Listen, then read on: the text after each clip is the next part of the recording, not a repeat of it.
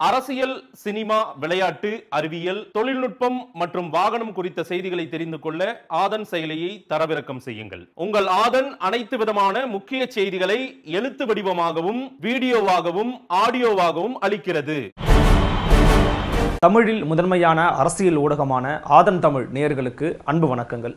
இன்று நம்முடைய ஆதன் தமிழின் கொடி பறக்குது நிகழ்ச்சியில் நாம் ஒரு முக்கியமான ஒரு தீர்ப்பு குறித்து தான் பேச போகிறோம் தமிழ் சமூகம் அப்படின்னு மட்டுமே நம்ம குறுக்கி பார்த்துடாம இந்திய சமூகம் என்றாலே இந்த சாதிய இழிவு அப்படிங்கிறது ரொம்ப அதிகமான விளைவுகளை இந்த சமூகத்தில் உண்டாக்கி இருக்குது சாதிய ஏற்றத்தாழ்வுகள் சாதியை காரணம் காட்டி இன்னொரு மனிதரை சக உயிரை வந்து ரொம்ப மோசமாக நடத்துவது அப்படிங்கிற விஷயம் வந்து தொடர்ந்து நடந்துக்கிட்டே இருந்திருக்குது. வரலாறு நடிகளும் நம்ம பார்த்துக்கிட்டு தான் இருக்கோம்.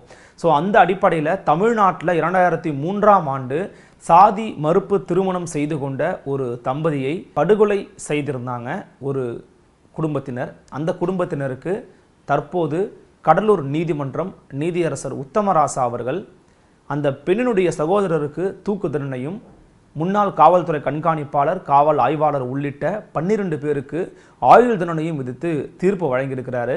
இந்த தீர்ப்பு வழங்கியதனுடைய பின்னணி என்ன?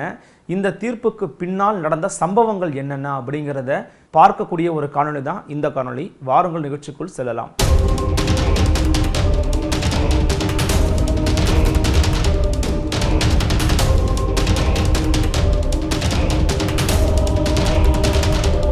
முதல்ல இந்த தம்பதியோட பேரை நம்ம தெரிஞ்சுக்கணும். கண்ணகி முருகேசன் அப்படிங்கிறது தான் தம்பதியுடைய பெயர். இந்த தம்பதிக்கு என்ன நடந்துச்சு அப்படின்னு பார்த்தீங்கன்னா சாதிய வெறியாட்டம் தான். வழக்கம் போல இந்த வன்முறை சாதி வெறியாட்டத்துக்கு பலியானவர்கள் தான் இந்த இருவருமே. கடலூர் மாவட்டம் விருத்தாசலத்திற்கு பக்கத்தில் இருக்கக்கூடிய குப்பநத்தம் புதுக்காலனியை சேர்ந்தவர் தான் சாமிக்கண்ணு.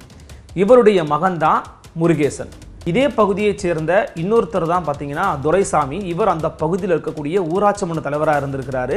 இவருடைய மகள் தான் கண்ணகி. கண்ணகி அப்படிங்கிறவங்க ஒரு மாற்று சமூகத்தை சேர்ந்தவங்க. இவர் முருகேசன் அப்படிங்கிறவர் ஒரு பட்டியல் சமூகத்தை சேர்ந்த ஒரு நபர். இருவருக்கும் இடையில தான் வந்து காதல் உருவாகி இருக்கிறத நம்மளால் வந்து புரிஞ்சுக்க முடியுது. இருவருமே பட்டதாரிகள். மிக குறிப்பாக முருகேசன் வந்து பார்த்தீங்கன்னா வேதி பொறியியலில் வந்து பட்டம் பெற்றவர். அது மட்டும் இல்லாமல் திருப்பூரில் ஒரு பணியிலையும் இருந்து வந்திருக்கிறார் இரண்டாயிரத்தி மூன்றாம் ஆண்டு. இதே போல தான் கண்ணகியுமே இருபத்தி ரெண்டு வயதான கண்ணகி அந்த காலகட்டத்தில் வணிகவியல் துறையில் பட்டம் பெற்றிருக்கிறாங்க. இது மட்டும் இல்லாமல் கூட்டுறவுத்துறையில் டிப்ளமோ கூட முடிச்சிருக்கிறாங்க. ஸோ இரண்டு பேருமே மாட்டு சமூகத்தை சேர்ந்தவங்க அப்படிங்கிறது இரண்டு பேருக்குமே தெரியும். ஸோ நம்முடைய காதலை மேபி பெற்றோர்கள் ஒத்துக்கொள்வதற்கான வாய்ப்புகள் குறைவாக இருக்கலாம். ஸோ நம்ம முன்கூட்டியே ஒரு பதிவு திருமணம் செஞ்சுக்கலாம் அப்படின்னு சொல்லி கடலூரில் ஒரு பதிவு திருமணம் செஞ்சுக்கிறாங்க. பதிவு திருமணம் செய்து கொண்ட பிறகு ரெண்டு பேரும் அவரவர்கள் வீட்டில் தான் வந்து வசிட்டு வந்திருக்கிறாங்க. அவங்கவுங்க வேலையை அவங்கவுங்க பார்த்துட்டு தான் இருந்திருக்கிறாங்க. ஒரு கடத்துக்கு மேலே முருகேசன் என்ன பண்ணுறாரு அப்படின்னு பார்த்தீங்கன்னா கண்ணகியை தன்னுடைய உறவினர் வீட்டில் வந்து தஞ்சமடைய செய்கிறாரு முருகேசன் அவரும் இன்னொருவர் தன்னுடைய உறவினர் வீட்டில் தஞ்சம் புகிறாரு. விழுப்புரம் மாவட்டத்தில் கண்ணகியையும் ஸ்ரீமுஷ்ணம்க்கு அடுத்து இருக்கக்கூடிய வண்ணாங்குடி காட்டில் முருகேசனும் தங்கியிருந்தாங்க இருவருமே தனித்தனியாக தங்கியிருக்கிறாங்க ஆனாலும் கண்ணகி வீட்டை விட்டு வெளியே வந்து தங்கியிருக்கிறதுனால எங்கே நம்ம பொண்ணை காணோம் அப்படின்னு சொல்லி பெண் வீட்டார் வந்து தேடுதல் வேட்டையில் இறங்கியிருக்கிறாங்க அப்போ தான் அவங்களுக்கு தெரிஞ்சிருக்குது இவங்க ரெண்டு பேருமே இந்த பையனோட வீட்டில் இருக்கக்கூடிய சொந்தக்காரங்களில் தங்கியிருக்கிறாங்க அப்படிங்கிறத கண்டுபிடிக்கிறாங்க. ஒரு கட்டத்துக்கு மேலே இந்த பெண்ணுடைய தாய் இந்த பெண்ணுடைய தந்தை இந்த பெண்ணுடைய அண்ணன் மற்றும் சித்தப்பா இவங்களாம் சேர்ந்து என்ன பண்ணுறாங்கன்னா இந்த பையனுடைய சித்தப்பாவை வந்து அடிக்கிறாங்க. இந்த பையனோட சித்தப்பாவை அடித்து உதச்சதில் வந்து அந்த பையன் எங்கே இருக்கிறான் அப்படிங்கிறத கண்டுபிடிக்கிறாங்க. ஒரு வழியாக என்ன பண்ணுறாங்க அப்படின்னு பார்த்தீங்கன்னா இரண்டாயிரத்தி மூன்றாம் வருடம் ஜூலை மாதம் எட்டாம் தேதி இந்த முருகேசன் அப்படிங்கிறவரை இந்த ஊருக்கு கூட்டிகிட்டு வராங்க கண்ணகியினுடைய பெற்றோர். ஊருக்கு கூட்டிகிட்டு வந்தது மட்டும் இல்லாமல் அவரை அங்கே இருக்கக்கூடிய சுடுகாட்டுக்கோட மையப்பகுதி கொண்டு போகிறாங்க அங்கே அவரை ரொம்ப சித்திரவதையும் பண்ணியிருக்கிறாங்க. அந்த சித்திரவதையெல்லாம் நம்மளால் வார்த்தையில் வர்ணிக்கணும் சித்திரவதை தான். கைகளையும் கால்களையும் பின்னால் கட்டி போடுறாங்க. தலைகீழாக தொங்க விடுறாங்க. அங்கே இருக்கக்கூடிய ஒரு போர்வெல்ல தலையோட இந்த உடலுடைய பாதி பகுதி இறங்கி இறங்கி ஏறுற மாதிரி அவரை மூச்சு முட்டை செஞ்சுருக்கிறாங்க. ஆனாலும் அந்த துன்புறுத்தல அவர் சாகலை. இன்னும் கொஞ்ச நேரம் வெயிட் பண்ணியிருக்கிறாங்க சில நாட்கள் வெயிட் பண்ண பிறகு பெண்ணையும் கண்டுபிடிச்சிடுறாங்க. பெண்ணையும் கூட்டிட்டு வந்து அந்த பையன் முன்னாடியே அமர வைக்கிறாங்க.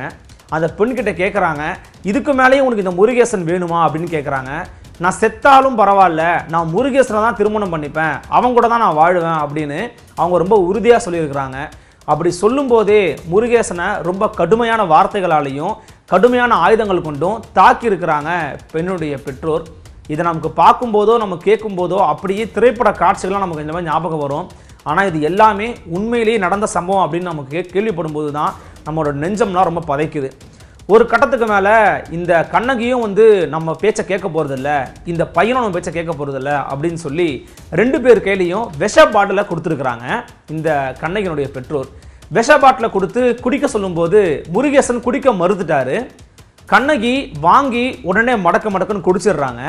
இவர் குடிக்க மறுத்ததன் காரணமாக என்ன பண்ணுறாங்கன்னா முருகேசனுடைய காதலையும் வாயிலையும் மூக்குலையும் இந்த விஷத்தை வந்து தொடர்ந்து ஊற்றிருக்கிறாங்க வலுக்கட்டாயப்படுத்தி. அதாவது வாயில கட்டை விரலை வச்சு தள்ளி அவரோட வாயில இவங்களே வலுக்கட்டாயமாக விஷத்தை ஊற்றிருக்கிறாங்க விஷத்தை ஊற்றின கொஞ்ச நேரத்திலேயே இரண்டு உயிருமே துடிக்க துடிக்க அங்கே சாகடிக்கப்படுறாங்க. இந்த காட்சிகள் அனைத்தும் அங்கே இருந்த கிராம மக்கள் பெரியவர்கள் சிறியவர்கள் குழந்தைகள் அப்படின்னு எல்லோர் முன்னாடியும் நடந்தது அப்படிங்கிறது தான் இங்கே இருக்கிறதுல ரொம்ப கொடூரமான விஷயமே. அங்கே இருக்கிற யாருமே இதை தட்டி கேட்கல எதிர்த்து பேசவே இல்லை.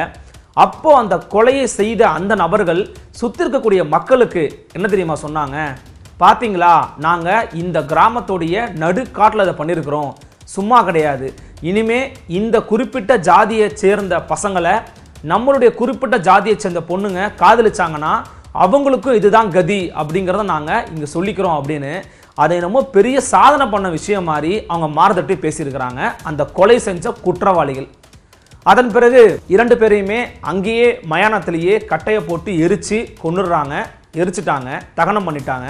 கொஞ்ச நேரத்தில் விஷயங்கள் கேள்விப்பட்டு அங்கே இருக்கக்கூடிய காவல்துறை அதிகாரிகள் நேரில் வந்தபோது அங்கே இருக்கக்கூடிய யாருமே சாட்சிகள் சொல்லலை. அவங்க ரெண்டு பேரும் காதலிச்சாங்க. மாற்று சமூகமாக இருந்ததுனால ஒத்துக்க மாட்டாங்க அப்படின்னு நினச்சி ரெண்டு பேருமே தற்கொலை பண்ணிக்கிட்டாங்க. அதனால் நாங்கள் அவங்களை எரிச்சிட்டோம் அப்படின்னு வாக்குமூலம் கொடுத்துருக்குறாங்க அங்கே இருந்த பெரும்பாலானோர். இதனை கேட்டுக்கொண்டு சரி ஓகேங்க அப்படின்னு சொல்லி காவல்துறையும் அங்கேருந்து கிளம்பிட்டாங்க. இது ஒரு கேஸாக கூட பதிய வைக்கவே படலை. ஆனால் இதை வந்து ஏற்றுக்கொள்ளவே முடியாத மனம் ஒப்பாத இந்த முருகேசனுடைய பெற்றோர் தான் இதை எப்படியாவது காவல்துறைகிட்ட கொண்டு போகணும் இதுக்கு ஒரு நீதி கிடைக்கணும் அப்படின்னு விரும்பி இருக்கிறாங்க. அதன் பிறகுதான் இந்த வழக்கு விசாரணைக்கே வந்திருக்குது. கிட்டத்தட்ட ஒரு பதினெட்டு நாட்கள் கழிச்சு கிராம நிர்வாக அலுவலர் வந்து என்ன பண்றாருன்னா இதுல வந்து ஒரு வழக்கு பதிவு பண்றாரு. அந்த வழக்குல தான் என்ன சொல்லப்படுது அப்படின்னு பார்த்தீங்கன்னா கண்ணகி தரப்புல ஒரு நாலு பேரையும் முருகேசன் தரப்புல ஒரு நாலு பேர் மேலேயும் இந்த படுகொலை வழக்கு வந்து பதிவு செய்யப்படுகிறது. இந்த வழக்கு பதிவு பண்ண பிறகு பார்த்தீங்கன்னா இந்த வழக்கினுடைய போக்கில் ரொம்ப தவறுகள் தெரியுது. பாதிக்கப்பட்ட நபர்கள் மீதே வழக்கு பதிவு பண்ணியிருக்கிறது அப்படிங்கிறது சரியா இல்லை அப்படின்னு தான் வழக்கறிஞர் போ ரத்னம் அவர்கள் இந்த வழக்குக்குள்ளே நுழையிறாரு. அவர் தான் தன்னுடைய சகாக்களோட அந்த பகுதிக்கு போய் அங்கே என்ன நடந்தது அப்படிங்கிறத முழுமையாக கேட்டு இந்த வழக்குக்குள்ளே ரொம்ப தீவிரமாக களமாடின ஒரு நபரை நம்ம அவரை பார்க்கலாம். ஸோ அவர் உள்ளே போன பிறகு இதை சிபிஐக்கு மாற்றணும் அப்படின்னு சொல்கிறாரு வழக்கு உடனடியாக இரண்டாயிரத்தி நான்காம் ஆண்டு சிபிஐ வசம் ஒப்படைக்கப்படுகிறது. இரண்டாயிரத்தி நான்காம் ஆண்டே சிபிஐயும் குற்றப்பத்திரிகையை தாக்கல் பண்றாங்க. அந்த குற்றப்பத்திரிகையில கண்ணகினுடைய குடும்பத்தினர் தான் இந்த ஆணவ படுகொலையில் ஈடுபட்டிருக்கிறாங்க அப்படிங்கிறது தெள்ள தெளிவா தெரிய வருது அப்படின்னு சொல்லப்பட்டிருந்தது. அது மட்டும் இல்லாம இந்த ஆணவ படுகொலைக்கு காவல்துறை கண்காணிப்பாளர் காவல் ஆய்வாளர் ஆகிய இருவருமே உடந்தையாக செயல்பட்டிருக்கிறாங்க அப்படிங்கிற விஷயத்தையும் வந்து பதிவு பண்ணியிருந்தாங்க. அதன் பிறகாகத்தான் இந்த வழக்கு எஸ்சி எஸ்டி வன்கொடுமை தடுப்பு சட்டத்துக்கு கீழே வந்து கொண்டு போகப்படுது. தற்போது கடலூர் நீதிமன்றம் நீதியரசர் உத்தமராஜா அவன் தலைமையில் இந்த வழக்கிற்கான தீர்ப்பு வந்து வெளியாக இருந்துச்சு. அதன் பிறகு வெளியான போது தான் இது பலவிதமான அதிர்வலைகளையே உருவாக்குச்சுன்னு சொல்ல முடியும். ஏன்னா இரண்டாயிரத்தி மூன்றாம் ஆண்டு நடைபெற்ற ஒரு சாதிய ஆணவ படுகொலைக்கு பதினேழு ஆண்டுகள் கிடைத்து நீதி கிடைச்சிருக்குது அப்படின்றத நாம் ரெண்டு விஷயமாகவும் பார்க்கலாம். நீதி நல்லபடியாக கிடைச்சிருச்சு அப்படின்னு பார்க்கலாம். ஆனால் இறந்து போனவங்களுக்கு இவ்வளவு ஆண்டுகள் கிடைச்சா நீதி கிடைக்கிறது அப்படிங்கிற ஒரு வருத்தமான செய்தியாகவும் பார்க்கலாம். இதில் மிக குறிப்பாக உத்தமராசா வாசித்த தீர்ப்பை நம்ம இங்கே கவனிக்கணும். அது என்ன தீர்ப்பு அப்படின்னு பார்த்தீங்கன்னா முருகேசனின் உறவினர்கள் ஐயாசாமி குணசேகரன் ஆகியோர் மிரட்டப்பட்டு சம்பவ இடத்திற்கு வரவழைக்கப்பட்டிருக்காங்க. எனவே முருகேசனுடைய சொந்தக்காரங்களுக்கு இந்த கொலையில் சம்பந்தமே கிடையாது. அவர்களை விடுதலை செய்கிறோம் அப்படின்னு அறிவிச்சாங்க. அதே சமயம் மீதம் இருக்கக்கூடிய பதிமூணு பேருமே குற்றவாளிகள் தான் அப்படின்னு சொல்லி சுமார் இரண்டு மணி நேரத்திற்கு பிறகு ஒவ்வொருவருக்குமான தண்டனை விவரத்தை அறிவித்தார் நீதியரசர் உத்தமராஜா. அதில் ஆணவ கொலைக்கு முக்கியமான காரணமாக இருந்த பெண்ணின் சகோதரர் நாற்பத்தி ஒன்பது வயது மதிக்கத்தக்க மருதுபாண்டியன் என்பவருக்கு சாகும் வரை தூக்கு தண்டனையும் ரூபாய் நாலரை லட்சம் அபராதமும் விதித்து தீர்ப்பளித்தார் அது மட்டும் இல்லாமல் பெண்ணோட தந்தை துரைசாமி அவரது மகன் ரங்கசாமி உறவினர்கள் கந்தவேலு ஜோதி மணி தனவேல் அஞ்சாப்புலி ராமதாஸ் சின்னதுரை ஆகியோருக்கு கொலை மற்றும் பல்வேறு பிரிவுகளின் கீழே மூன்று ஆயுள் தண்டனையும் நாலேகால் லட்சம் அபராதமும் விதித்தார் தண்டனையை ஏக காலத்துக்கும் அனுபவிக்கும் உத்தரவிட்டார். அப்போதைய காவல் ஆய்வாளராக இருந்த செல்லமுத்து உதவி ஆய்வாளர் தமிழ்மாறன் ஆகியோருக்கு எஸ்சி எஸ்டி வன்கொடுமை தடுப்புச் சட்டத்தின் கீழே ஆயுள் தண்டனையும் ஒன்னேகால் லட்சம் ரூபாய் அபராதமும் வழங்கியிருக்கிறாரு. இதில் இன்னொரு முக்கியமான விஷயம் என்ன அப்படின்னு பார்த்தீங்கன்னா இரண்டாயிரத்தி பதினேழாம் ஆண்டு இந்த விஷயத்தில் நான் சாட்சி சொல்கிறேன் அப்படின்னு அந்த கிராமத்தில் இந்த படுகொலையை நேரில் பார்த்த புதுக்கூரைப்பட்டியைச் சேர்ந்த செல்வராஜ் அப்படிங்கிறவர் முன் வந்தார். இவர் அங்கே இருக்கக்கூடிய பட்டியல் சமூகமான அருந்ததி சமூகத்தை சேர்ந்தவர். ஆனால் இவர் கொலை செய்யப்பட்ட ஆதிக்க சமூகத்தினரால் மிரட்டப்பட்டிருக்கிறாரு. இவருக்கு முப்பத்தி ஓராம் தேதி இவர் வந்து சாட்சி சொல்வதற்காக போனார். ஆனால் அதற்கு முந்தின நாளே இவர் தற்கொலை பண்ணி செத்து போயிட்டார். இந்த செல்வராஜனுடைய மனைவி இந்த படுகொலை செய்த இந்த சாதிய ஆணாதிக்கவாதிகளால் தான் என்னுடைய கணவர் மிரட்டப்பட்டு செத்து போயிருக்கிறாரு அப்படிங்கிற புகார் அளிச்சாங்க. அது கூட என்ன ஆச்சு அப்படிங்கிறது தெரியாமலே இருக்குது. சாட்சி சொல்ல வந்தவரையும் கூட இவர்கள் மிரட்டி சாகடிச்சிருக்கிறாங்க அப்படிங்கிறது தான் நம்மளால் யூகிக்க முடிய ஒரு செய்தியாக இருக்குது. இதில் ரொம்ப நமக்கு மனம் வருந்தக்கூடிய கொடூரத்தின் உச்சகட்டமாக பார்க்கக்கூடியது அந்த கண்ணகி அப்படிங்கிறவங்க இறக்கும்போது கருவுற்று இருந்திருக்கிறாங்க. ஸோ கருவுற்று இருந்தாங்க அப்படின்னு தெரிஞ்சுமே கூட அவங்கக்கிட்ட விஷ பாட்டில் கொடுத்து அவங்க ரெண்டு பேருமே எரிச்சிருக்கிறாங்க அப்படின்னா இந்த எரிச்சவங்கலாம் மனுஷ ஜென்மங்க தானா அப்படிங்கிற கேள்வி நம்ம எல்லார் மனசுலையுமே எழத்தான் செய்யுது.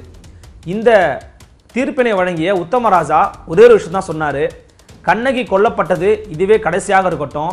ரொம்ப மோசமான இழிவான ஜாதிய மனநிலை கொண்டவங்க அதிலிருந்து வெளியில் வந்துடுங்க அப்படி இல்லைன்னா இவர்களைப் போலவே இன்னும் கடுமையான தண்டனைகளை உங்களுக்கு வழங்குறதுக்கு நாங்கள் காத்துக்கிட்டு இருக்கோம் அப்படின்னு எச்சரிக்கையும் கொடுத்திருந்தாரு நீதியரசர் உத்தமராஜா. இந்த வழக்கில் போற்றுதலுக்குரிய இருவர் யாருன்னு பார்த்தீங்கன்னா வழக்கறிஞர் ரத்தினம் அவர்களும் முருகேசனுடைய தந்தை சாமி கண்ணு அவர்களும் தான். ஏன்னா இவங்க இரண்டு பேரும் தான் கடைசி வரைக்கும் போராடி இந்த வழக்கில் நீதி கிடைச்சே ஆகணும் அப்படிங்கிறதுக்காக களத்தில் நின்னாங்க.